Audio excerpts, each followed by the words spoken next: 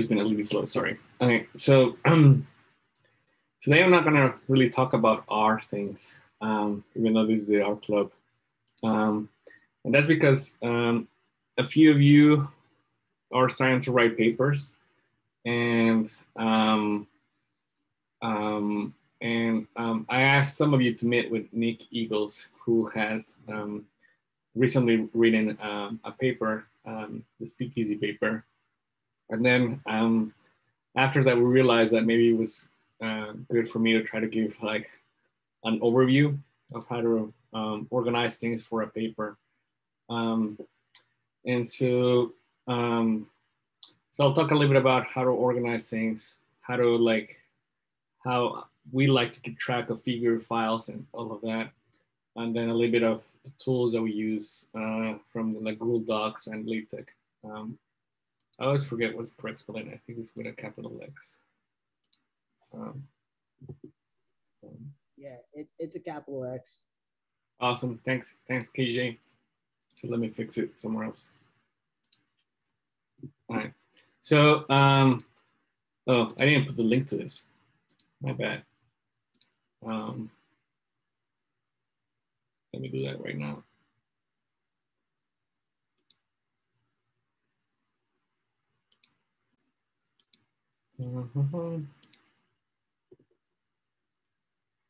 All right. So, um, sorry about that. Um, so from the uh, Google spreadsheet for um, uh, the club, you can find the link to um, to this Google Doc that I like kind of started um, just a few minutes ago, but um, I'll probably add more links as we go through. So the first thing is um, I've already talked a bit about how to write academic papers with Google Docs. So there is a little video over here. Um, well, little, I think it's like 40 minutes long. Um, um, where this is from last year um, um, where um, um, I was basically like explaining some of these tools for. Um, uh, this is uh, sorry, let me mute that. Um, some of the tools that uh, I like to use when writing Google uh, academic papers with Google Docs. Um, so this video is like you know session like the one I'm doing right now but um, you can find here the notes for that. Um, since then, though, this is a video from uh, April 6, 2020. Since then, um, F1000 Workspace, which is one of the tools I mentioned on that video, has been renamed as SciWheel. Um, that's because that F1000 um, like set of products got divided and some of them got sold off to a new owner. Um, and so that's why they decided to rename some things. And there's this blog post that I had officially contributed to them, I think 2019 or maybe 2018. I forget what year that is from. Um, so that is like, um, I won't go over all of that again, but it, it includes some of the tools that um, you could use for writing papers with Google Docs. Now, a bit more general is like, okay, let, let's talk about paper organization, which doesn't really depend on whether you're using Google Docs, LaTeX, or Microsoft Word or any of that. Um, so the first question you should ask yourself is, do you have a journal in mind, right, for your manuscript? Um, and this can be tricky uh, because um, um, like sometimes you write the paper after you've done everything and you're ready to just publish it. Um, and at that point, you might have like a very specific journal in mind. Other times you're writing the paper as the project grows, right? And then um, um, you might change your mind of what is the journal you want to submit it to. So in general, it's good to check the restrictions they have and the requirements they might have. Um, However, like um, many journals nowadays, not all of them, but many of them accept a PDF file in the initial submission. Um, as long as that PDF file like has like kind of like a common set of structure, right? Um, later on, once you submit it and then they send it to the reviews for the first round of reviews. And if they like your paper, then at that point they'll ask you to um, to, to change the formatting of your paper to fit the guidelines that they have. And so um, here it's where like if you use tools like the ones I talk about for Google Docs or LaTeX, it will simplify your life for actually reformatting things. Um, so one of the things they might ask you to, to change is like the citation style. Um, so, um, um, you know, some tools will help you with that. Um, if you do it manually, then anytime they ask you to reformat something, it's gonna be like a ton of work, right? Um, if you manually write your bibliography, for example, or if you manually order your figures, uh, that will involve a lot of work later on because a journal can be like, hey, um, you have five figures, we only allow you to have four. Can you move one to the supplementary? And so at that point, you have to um, you have to uh, relink all the figure numbers, make sure that they're um, correct, right? So if you use tools for that, um, that will make your life easier.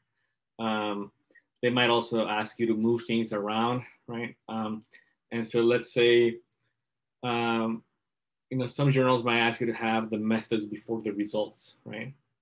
And but then every journal will ask you that you reference the figures in the order that they appear on the paper. And so you're suddenly changing like a big block, block of text around, right? Then all, all the links and stuff have to, um, all the numbers will have to change, right? Um, so there's some tools that will make all of this like less painful. Um, um, although I would say that um, anytime you have to reformat something, it will be a little bit painful. And so, um, um, so for example, like um, a lot of papers we've written, uh, we've actually written them in Google Docs.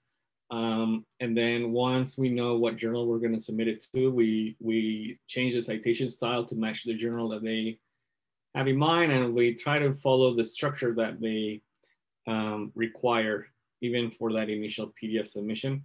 Um, although some details like, um, uh, like for example, if, if the figure number should be figure one versus fig dot one, for example, some details like that we might change later. Okay, so um, one example I have here is Oxford Bioinformatics, and I'm including that one because we're actually writing a paper aim for that journal right now. And so if you access the journal website, right, uh, normally any journal will have fairly prominent on their menu a section for submitting. Uh, so here they have their author guidelines, which is what I'm looking at right now. And um, every journal will have different types of papers. Um, so first of all, you might want to check the scope, right? Like whether the paper you have in mind kind of fits uh, the categories of papers that they like to publish, right? Um, um, then after uh, then after that, you'll check the type of manuscript, right? And so in this particular journal, there's there's a format called application notes, which is that the one I'm thinking of for a paper we're writing. Um, and so you can um, they'll specify exactly like how many words you can have or how many figures you can have. Um, and so in this particular case, it's basically like a thousand words and one figure, um, which comes down to basically like two pages. Um, that's what this requirement that they have here. Um, so, um, um, you know, that's something to keep in mind.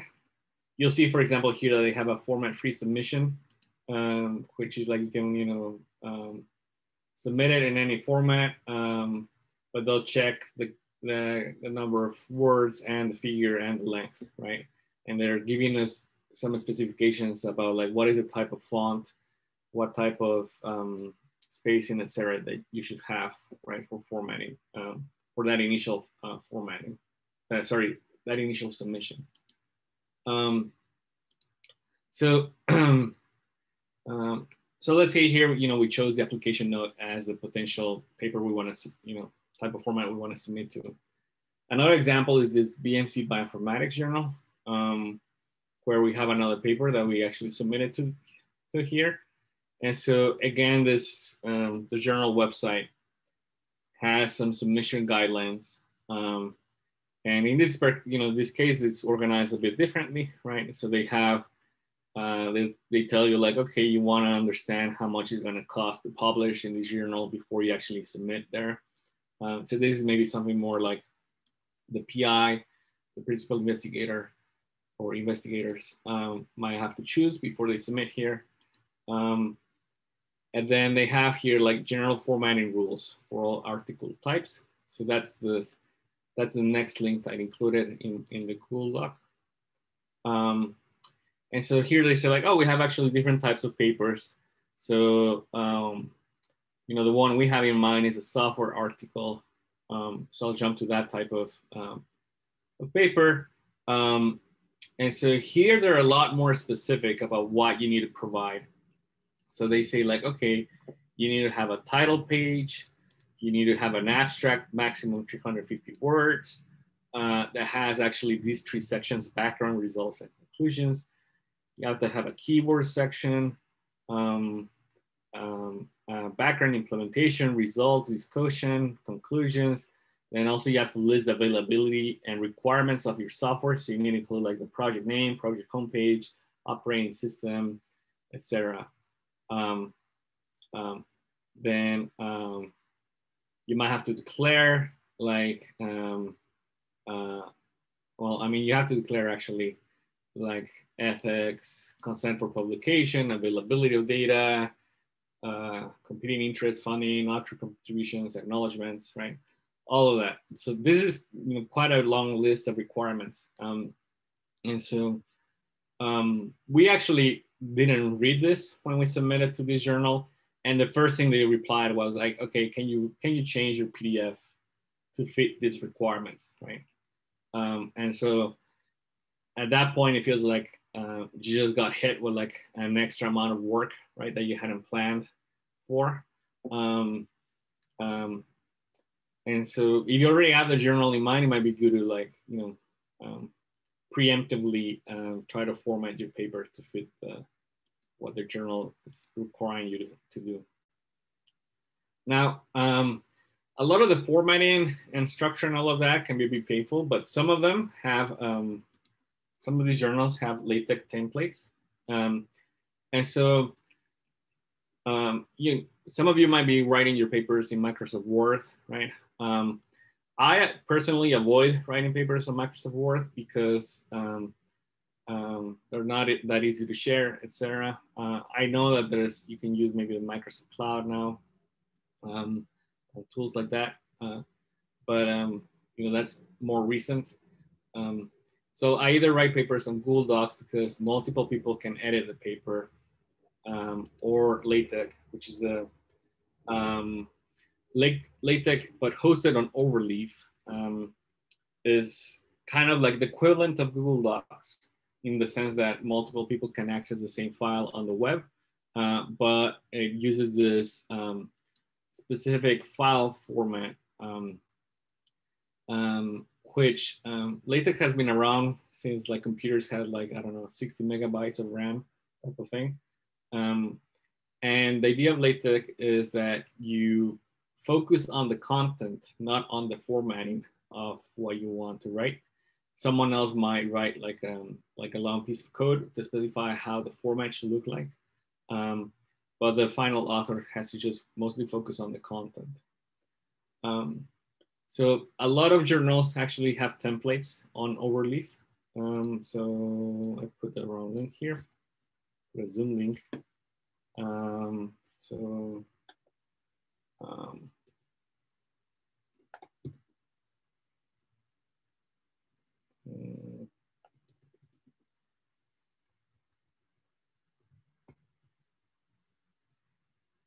um, right. Um,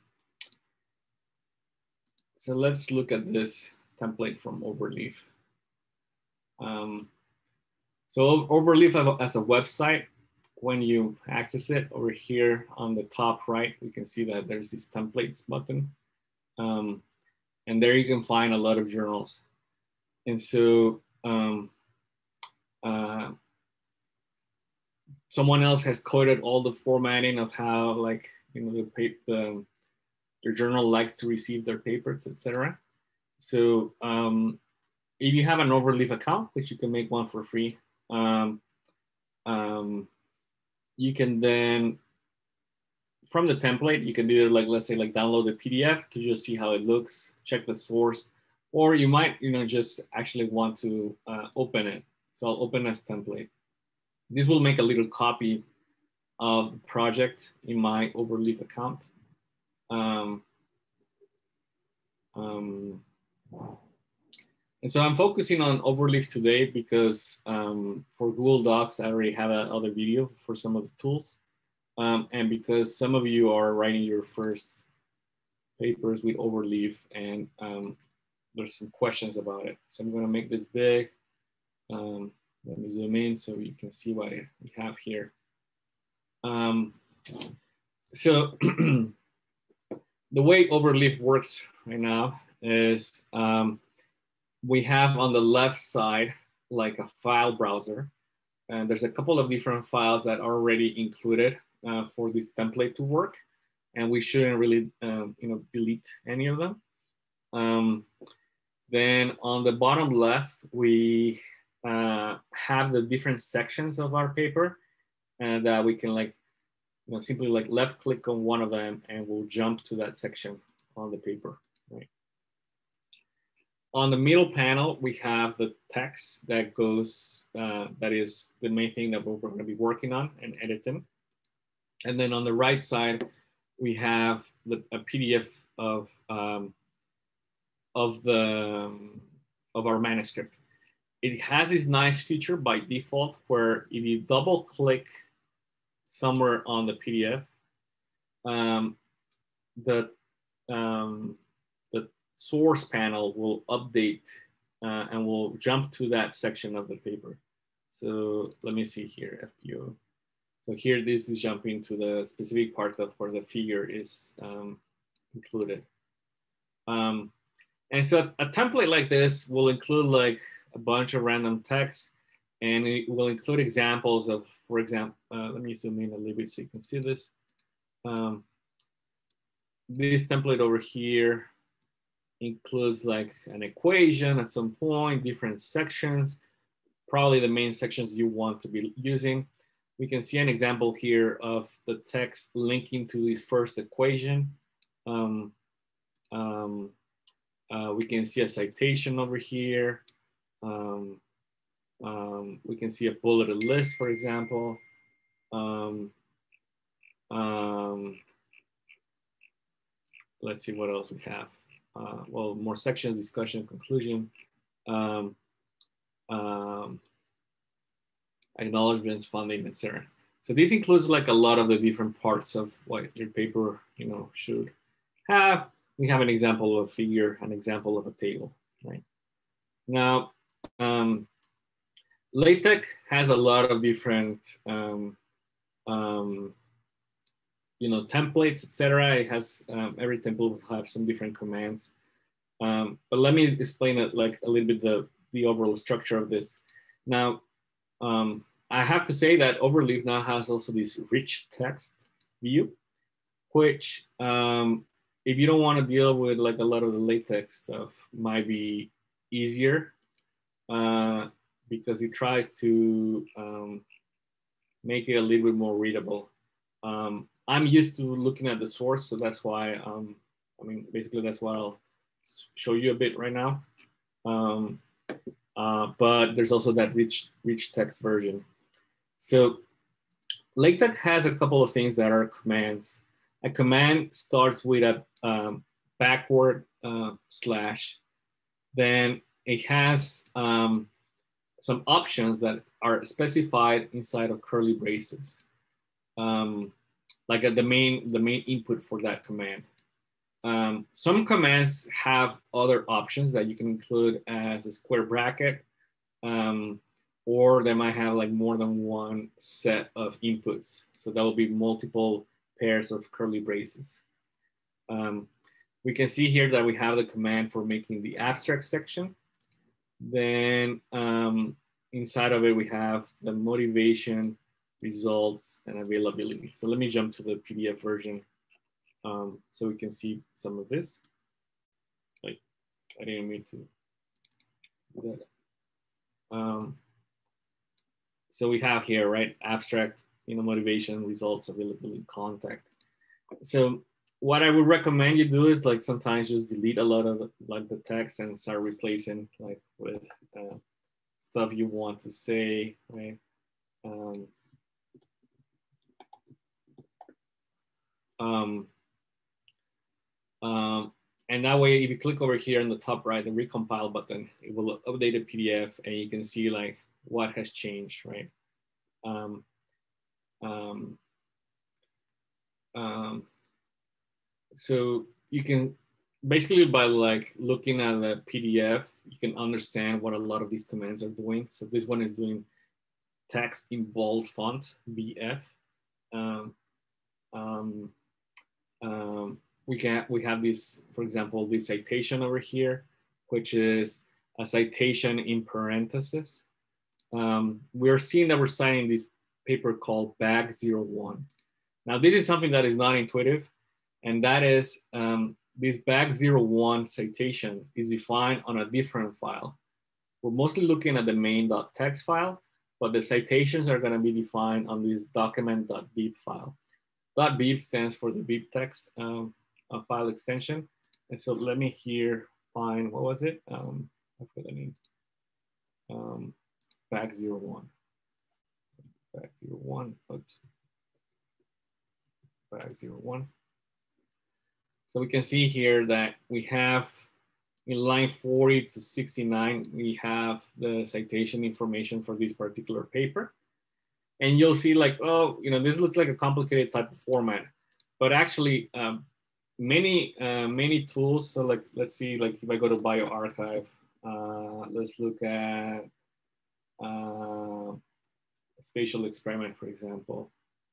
Um, um, bioRxiv, for example, here under citation tools, uh, we can download the citation already in that format, which is this BibTeX format. Um, and then after that, you can simply like copy paste it um, into your um, overleaf.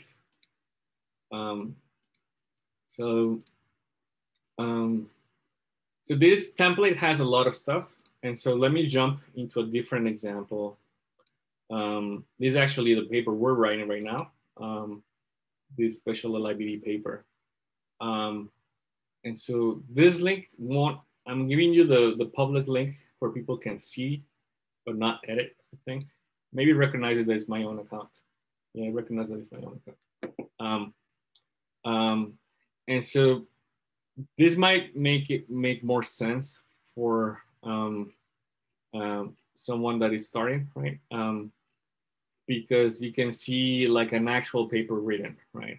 And compare what is the code that we're using for some of the things that we're doing and, um, and how it looks. One of the nice things is that you can have links. So here I'm linking to uh, a label that I call fig colon overview. And later on, uh, we have, uh, I define the label here, fig overview. Um, and so this is something you can do with LaTeX, which is quite powerful. Um, this particular paper only has one figure, uh, but you had more, right? Um, um if you simply move around the code for the figures is going to appear in different uh, uh, sections. Um, so I would say like this is like uh, the broad overview of, of LaTeX. There's more commands, right? Uh, Overleaf has a pretty nice website explaining um, a lot of the LaTeX commands. But I, what I would recommend doing is simply Googling. You might like copy the name of the command, space LaTeX, and then just Google. And if, if there's a command that you're that you see someone else use and you're curious about what it's doing, right?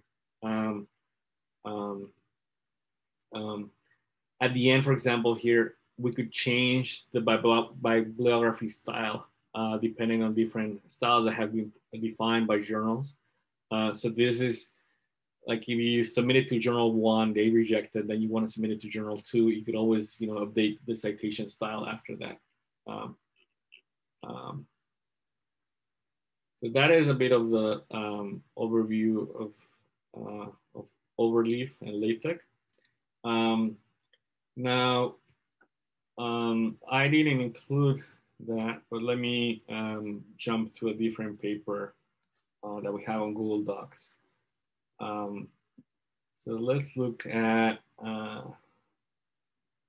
um, um,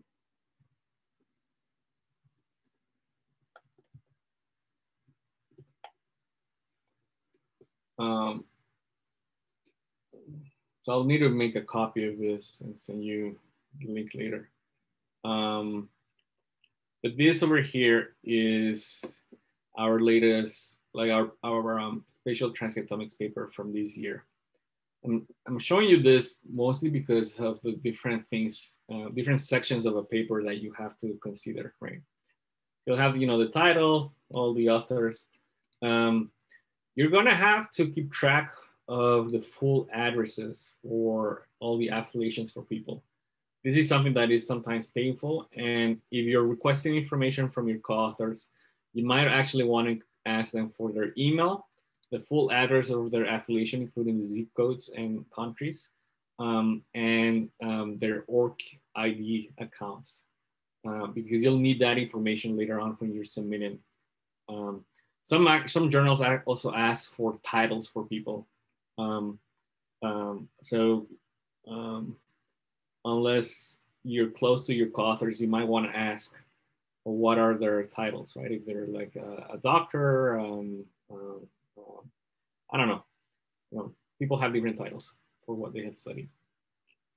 Um, some journals here you have to include like um, um, who's going to be the uh, the person that you can contact. Um, then an abstract that like a lot of times uh, we just check what, it, what are the guidelines from the paper. Um, I like to include on Google Docs a little comment here saying like, oh, for the journal that we have in mind, it has to be less than, I don't know, 300 words or 250 words. Um, um, and so later on, you can um, you can just you know select the text and use the tools from Google Docs to um, to, to check how many words you have. So this one is 146, and I'm, I'm betting that this particular journal um, asked us for maximum 150 words um, based on how many we have right now. You'll have your introduction. So in an introduction in, in the paper, you typically want to mention what other, other people in the field have, the, have been doing and why is there a need for the type of project you've done.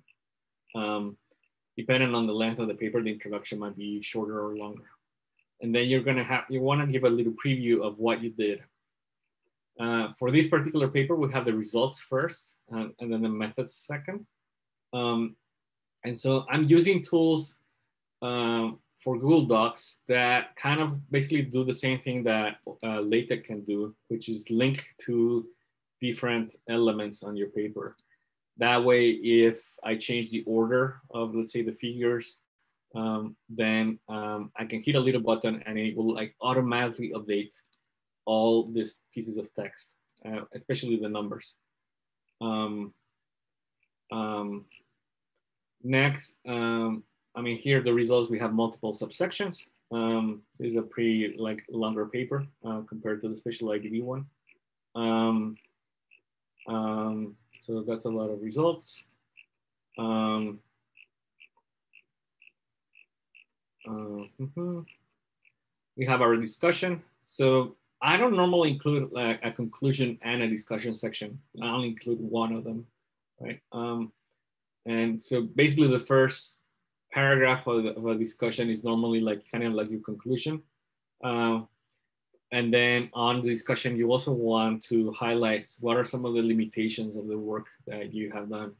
Um, but also you might want to include like a speculation of um, you know informed speculation of what you think that this work is going to uh, um, of how this how your work is going to influence the work of others later on um, or the field etc um, so this paper has a lot of this like a very long discussion. Um, then after that you're gonna want to include like how can uh, the data be downloaded by others so here we have some accession codes. Um, you want to include the acknowledgements. And so this is a piece of text that, um, that depending on the project, um, you might have to double check with multiple people before you can write the acknowledgements. So you might have to ask um, for help um, across, um, yeah, multiple, you know, members of your team, or like we're talking about LIBD, um, you know, you might want to ask help from um, like Tom Hyde, for example, for some of the acknowledgements uh, that uh, we need to include, right? Some papers that, um, so for example, you're using the data from GTEx. GTEx on their uh, data use agreements require you to, to include like a long um, acknowledgement uh, paragraph, right? Um, so depending on what data you use, etc., this the acknowledgements can actually take a while to write. Um, so you need to keep that a bit in mind. Um, funding, this is something that I didn't realize early on in my career how important it was. Um, but basically, like um, people that get grants, right, need to write uh, um, uh, research progress reports to their uh, the funding agencies. And one of the main things in, in, in a report like that is saying what are the um, the products that um, this particular grant was um, um, uh, like uh, what are the products that were accomplished or completed thanks to the funding from that grant? And the way you do that is by like saying like okay yeah we did this paper and if they check the paper that paper actually includes the id of the grant.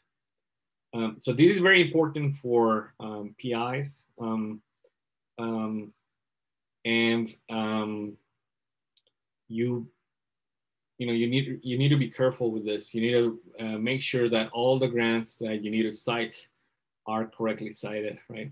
And so as your team gets bigger you potentially have more and more grants to include right? Um, um, and so this is something you know, like i wouldn't leave it to the last minute i would like make sure that you give people enough time to respond about the funding section uh, to make sure that they verify that like all their grants that they need to mention are included.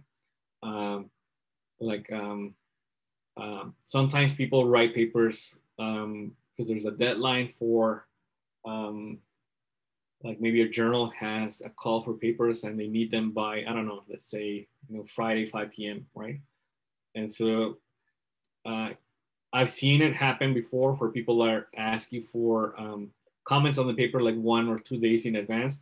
And at that point, you might focus on the science, but then forget about the funding. Um, um, and um, yeah, you want to make sure you don't upset anyone by not uh, mentioning in your grant or stuff like that. Um, um, then for author contribution, I like to use what's called the CRediT system. Uh, CRediT um, um, um, and a lot of journals um, have this. So let me include that link over here.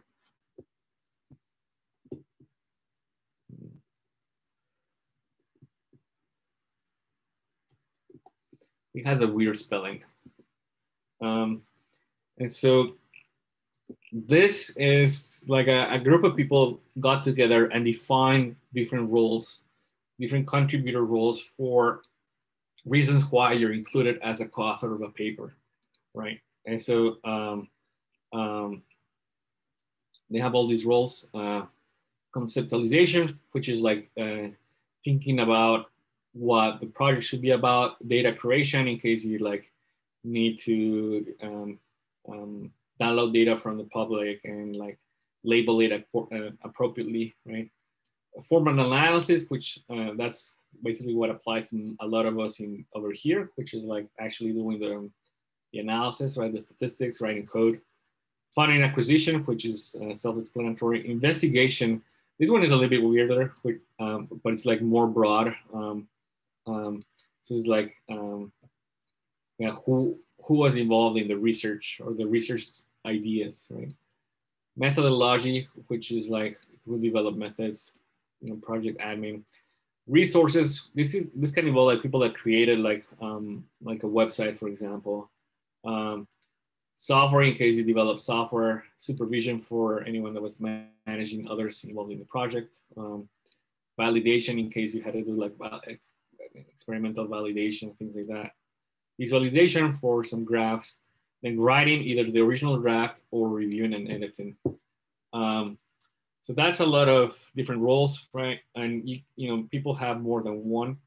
Um, so this can also take a while. Um, and let's say you're writing this, uh, you might um, want to double check with like the PIs that like um, that the different roles that you're suggesting for people are the appropriate ones. Um, um, so some people normally like the first authors have a lot mm, a lot of roles um, and the last authors also have a lot of roles.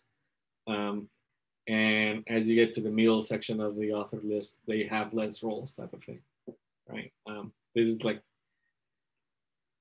um, in general, this is like, I guess how credit works, right? Like people that worked more, right, get um, um, uh, first author positions or last, right? Um, then you might have a declaration declaration of interest of people that were employees at companies or things like that. Um, this I would like double check with the journal how they want you to format this section. Um, and a lot of journals, sadly, I don't like this, but sadly, a lot of journals want you to include the figures later on, not in as like as you go in the text. Um, and so um, in this particular case here, we have the different, we have um, the images of the figures. We actually didn't include this. Um, um, in the very end, we had to like submit like figure files for each of the figures. Uh, but here we have all the uh, um, all their captions and stuff. I like to have the title of the figure as the first sentence and put it in bold. I also like to use uh, bold font for any of the panels. So A, B, C, D, etc uh, or one, two, three, or I1, I2, I3. Um, just to make it easier for the reader to distinguish where um, does the description of a particular um, panel begin. Um, later on, if I need a reference to a, uh, to a previous panel, then I don't use the bold font anymore. Um, um, um, so lots of figures here, this particular paper. Um, let me keep scrolling to all of that. Um, then the methods. And here, like this particular journal had a lot of uh, specifics uh, requirements for the methods. Uh, so they wanted a section for contact for reagent resource sharing, another one for experimental model and subject details. Inside of it, we could have subsections, right? Or one of them they call method details, etc. And so in the methods, something that you want to make sure that you're including is version numbers of everything. And that's why, like, one of the reasons why when we're writing our code, we want to include the session information in our scripts. Um, um, and so you'll see here, like we're saying like, oh, we're using STAR version five, you know, 2.5.1b, right? Uh, Space Ranger, Space Ranger version 1.00, etc. Because this information will be really useful for everyone else uh, who wants to try to reproduce your work. Um, and it's easy to forget that you need to keep track of all of this. And you might think that just mentioning that you're using STAR is enough, but that's not true. We know that like software changes a lot version to version. So you wanna be as precise as possible and keep track of that. Um, I also like to use a different font style. So uh, for example, most of the paper here is written in the Arial font, uh, but then uh, for names for software, um, I like to use Courier New. Courier New is a font that uses equal spacing for all of the letters and numbers. Um, so any function name here, I'm using that, that type of font uh, to make it easier to distinguish what is um, um, like a piece of code or like software names here are, are idolized, for example. And so it takes a lot of work to keep track of all the different versions of the main packages that you use for your analysis, right? So, you know, version 1.8 here, 1.14.3 here. And because some projects take a long time to complete, you might actually have a section of your project that uses, let's say, Scran version 1.14.3, and then later on you have another section that maybe uses Scran version 1.16, right? Um, so um, it's not that obvious to keep, you know, to remember um, what are all the versions of things you use. Um, um, so writing the methods section like takes a lot of extra information, right? You need to remember what are the functions, the packages, the versions. You need to cite all the tools that you're using, right? Um, um, um, uh, it's a common mistake that people don't cite the methods. Um, and that is like detrimental for everyone in the community because then the people writing methods um, have a harder time justifying their careers, right? Um, and then if there's less methods, then there's less things for you to use later on. So it's very important to cite every method. Uh, as a method developer myself, right, I try to make sure I do that. Um, um, cool. So lots of methods here. It's a pretty long paper, this one in particular. Um, um, some journals will ask you to include like what are the type of tests that you've done? What what is the information that you show in the box plot for example? So we're showing the median interquartile range etc and that's because in, years, in recent years there's been a strong push to um, be as um, uh, as clear, clear as we can be on the statistics right? So um, um don't assume that people know what your plot is showing. So um, this, in this particular case, we for we didn't think about doing this while we were writing the paper, and we had to do it later, and it was kind of painful to go back and remember, like, okay, you know, what it, what are all the settings we use, etc. Um, um, but if you if you keep track of this information as you're writing it, right? So, for example, like you might do a t-test, but it's you have to say whether it's a two-sided t-test versus a one-sided t-test, etc. Um, um, um, um, mm-hmm. Code availability. So I normally like to include the GitHub links, um, uh, but you'll notice here that the code in, uh, the code has citations here, and that's because you can get for any GitHub uh, repository, you can get a DOI, a digital object identifier, through a service like Zenodo. Um, and so that will make your code permanently available for others. And that's why do you want to do that? Because if you just include the GitHub link, some in the future you could just as easily delete your GitHub code, right? However, if you put it on Zenodo, you can't just delete it, right? Um, so this makes it more permanent and that's why you get that digital object identifier. Um, so every every GitHub repository, you're gonna have to like get a Zenodo link for it, etc. Um, all the different codes. Then here's a ton of supplementary information. This paper has, I don't know, 28, I think, figures, uh, something like that. Um, all the different tables. Um, what else am I missing? Um,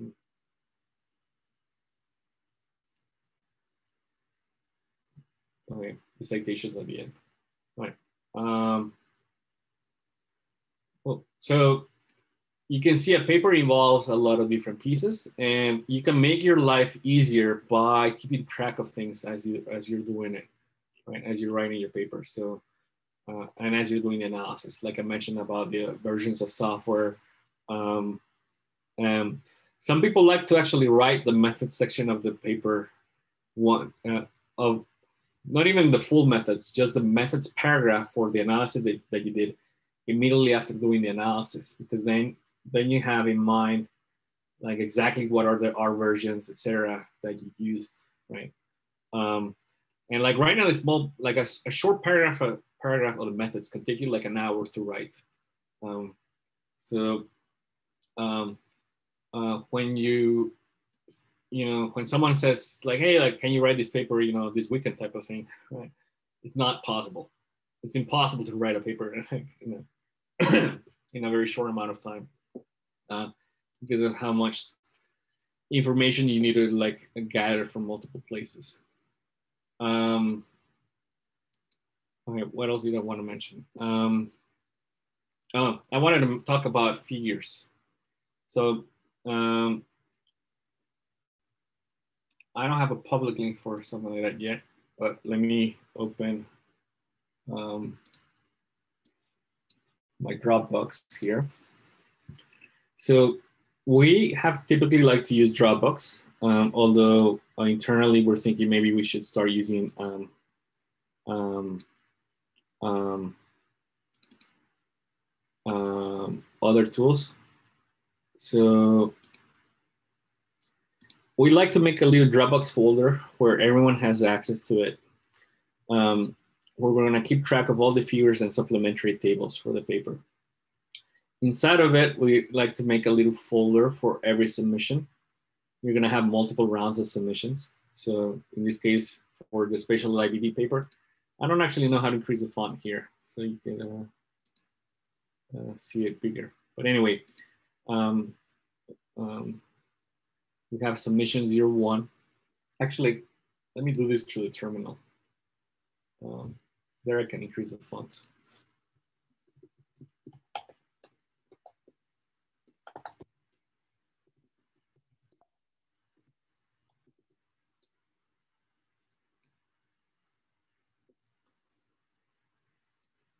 All right.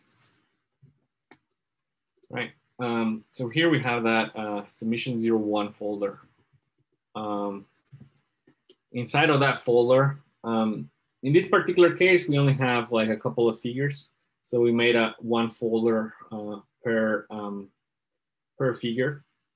Um, so this is a kind of a simple scenario. Let me go and show you a more complicated one. Uh, um, so here, um, spatial DLPFC, which is that bigger paper, we have four uh, submission uh, directories. So we go look at the first one. Um, we'll notice here that we have um, a directory for the main figures, uh, another one for the all the manuscript files, another one for the supplementary files, supplementary tables, etc.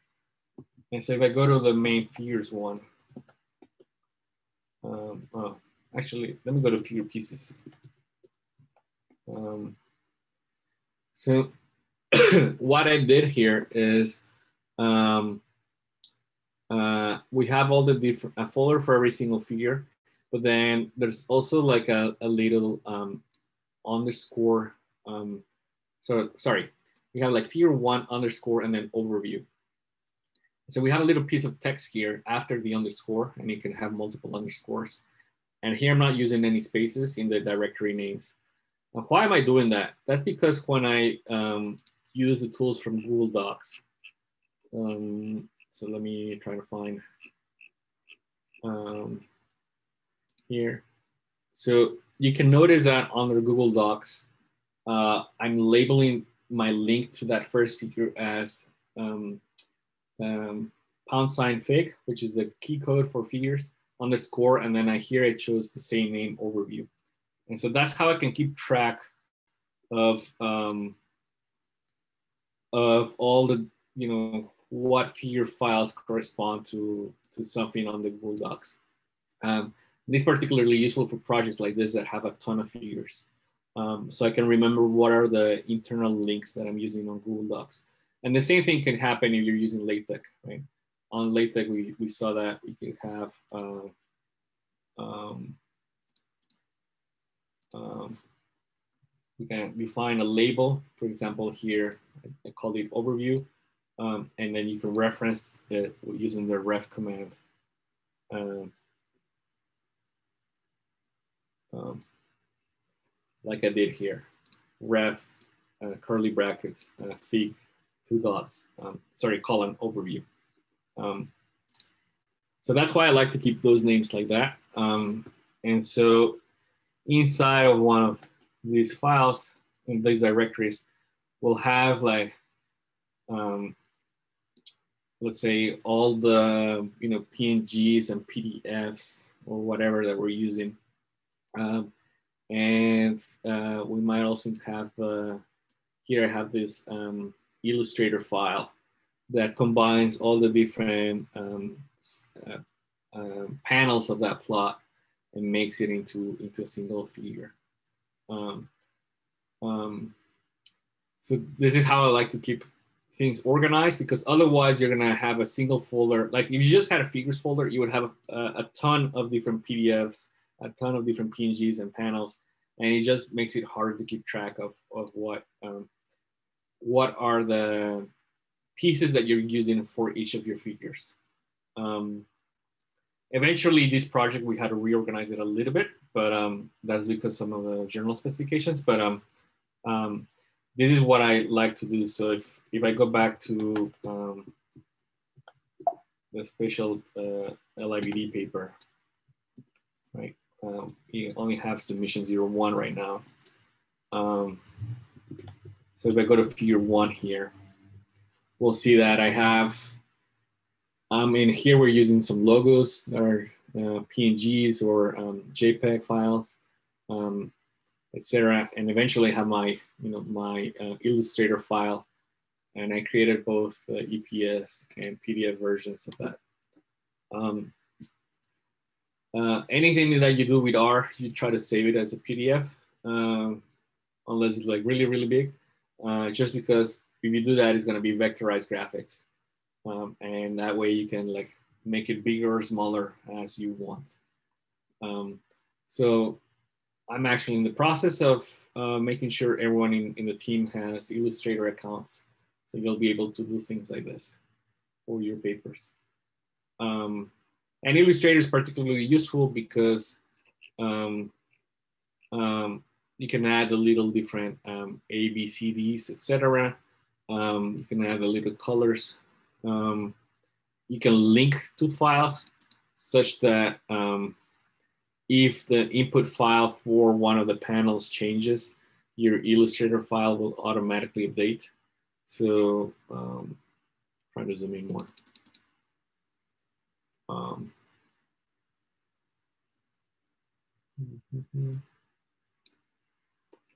so let's say I change the PDF that is the input for this panel. It will automatically uh, get updated later on. Um, uh, if I change that input PDF. And you might want to do that because, I don't know, let's say you decide to change the colors of that panel, right? Things like that. Um, um, so uh, I would say our use of Illustrator is fairly basic and you can actually do a lot of these things with like, uh, for example, you can do use Patchwork, the R package, R, R package for doing it. But um, um, I found it easier to do stuff like that like this. Um, you could also go into Illustrator or Adobe Acrobat and like manually edit um, text. So for example, this panel here had something else that I deleted manually on, on the title. Um, you can try to increase the font sizes of, of, of um, your um, axes, etc. Um, so, um, yeah. Um, I would say that's basically all the tricks and things I use. And so let me stop recording.